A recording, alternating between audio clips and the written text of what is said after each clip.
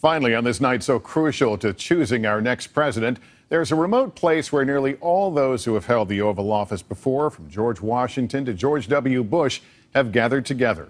NBC's Kevin Tibbles explains how giant tributes to our presidents ended up where you'd least expect. It's an unlikely meeting place for these heads of state, a muddy Virginia field. It's for sale. You want it? The presidents of the United States made of plaster and metal. From their lifelike eyes to their ties, weathered and worn. I'm glad I could save them. Once a tourist attraction outside Williamsburg where few ever came. It's hail to Howard Hankins.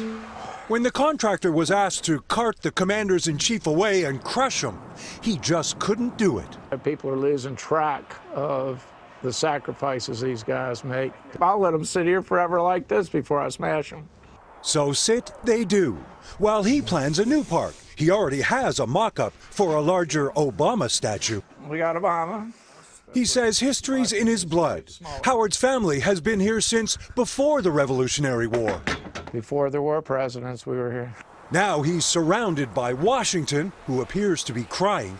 He, he probably is crying about the situation of the country right now.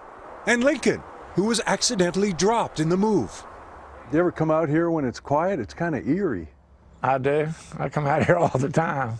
I come check on the guys. Just look at all these politicians assembled together in one place, and yet it's completely silent.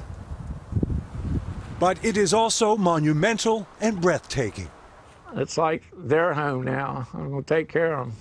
And what would they say about the present state of affairs?